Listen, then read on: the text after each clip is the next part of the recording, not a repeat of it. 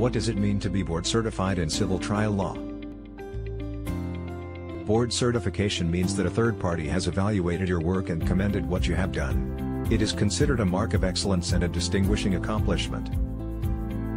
It means a lawyer has substantial, relevant experience in civil trial law and has demonstrated and tested special competence in that area of law.